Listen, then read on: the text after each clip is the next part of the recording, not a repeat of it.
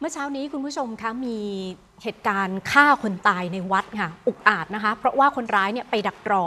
แล้วให้ผู้ตายเนี่ยไปทำบุญก่อน ใส่บาตรจนเสร็จเดินกลับมาจะขึ้นรถ ขับกลับบ้านอยู่แล้ว ค่อยเข้าไปล็อกคอจ่อยิง เข้าที่ด้านหลังศีรษะรัวๆเลยนะคะ จนเสียชีวิต จากนั้นตัวเองก็ขับรถยนต์ที่สตาร์ทเครื่องรอเอาไว้หลบหนีไป เหตุการณ์เกิดขึ้น7โมงเช้าวัดนิมมานรดี อยู่บางแคกรุงเทพมหานครนะคะ ผู้เสียชีวิตถูกยิงที่บริเวณลานจอดรถหน้าพระอุโบสถ เชื่อมกับทางเดินเข้าออกกุฏิพระสงฆ์ค่ะ ผู้เสียชีวิตก็คือนางลินลดาพัฒนพันธ์อายุ 39 ปีนะคะ มีบาดแผลถูกยิงเข้าที่ศีรษะด้านหลังราวๆ4นัด โดยใกล้กันก็คือพบรถยนต์ของผู้เสียชีวิตจอดอยู่ตรงนั้นเอง ตะกร้าข้าวของที่ใช้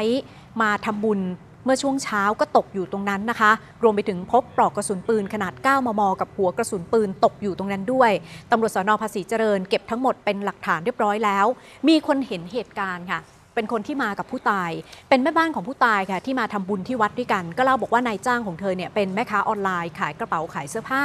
ไม่มีสามีกับลูกนะคะ ใช้ชีวิตอยู่กับเพื่อนสาวคนสนิทที่บ้านพัก แล้วก็ตัวแม่บ้านเองรวมทั้งหมด 3 คน ออกจากบ้านพักมาตอนเช้ามืดค่ะ ก็จะมาทำบุญที่วัดนี่แหละ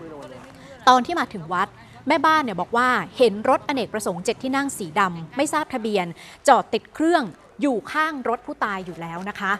นี่ค่ะรถของผู้ก่อเหตุ แล้วก็ผู้เสียชีวิตซึ่งมาทำบุญนะคะ ซึ่งตอนที่มาถึงเนี่ยเห็นรถอเนกประสงค์สีดำคันนั้น จอดติดเครื่องอยู่แล้ว ทั้งสองคนไม่ได้สังเกตอะไรจะเห็นมินิสีขาวอยู่ตรง มุมขวาของภาพนะคะ อยู่ใกล้ๆกับเหยื่อนั่นเองนะคะ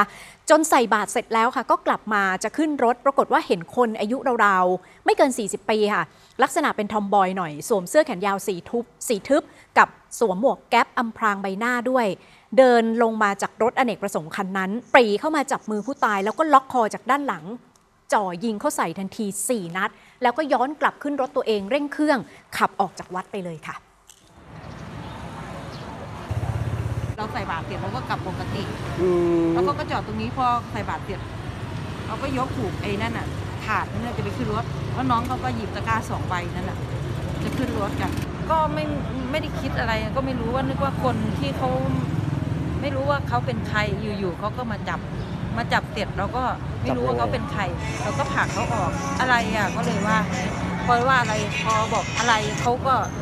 ชักปืนออกมาเลยอ๋อ เขาก็ยิงเลยค่ะยิงเสร็จเขาก็ขึ้นรถไปเลยประมาณรัวสามสี่ครั้งเลยอยู่ใกล้ๆติดติดตัวเลยอะตอนนั้นทำอะไร ยิงขม่าวปืนยังติดกำลังจะขนของขึ้นรถค่ะ อ๋อ หลังจากใส่บาตรเสร็จแล้ว ใส่เสร็จแล้วค่ะเก้าเขาอยู่บ้านแล้วเขาก็ขายของออนไลน์แต่อย่างอื่นไม่รู้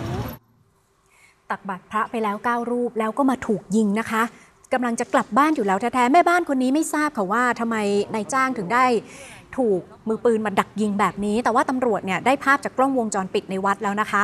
มีภาพรถของคนร้ายที่จอดอยู่ แล้วก็ตอนนี้กำลังหาเบาะแสตามตัวมือปืนมาดำเนินคดีให้ได้รวมถึงต้องประสานญาติพี่น้องของผู้ตายมาให้ปักคำเพื่อหาชนวนเหตุสังหารด้วย สังเกตได้ว่ารถของผู้ก่อเหตุนี่คือจอดติดเครื่องรอเลยนะคะว่ายิงเสร็จปุ๊บก็ขับออกจากวัดได้ทันที ออกมาแบบหันหัวพร้อมไปแล้วอะค่ะ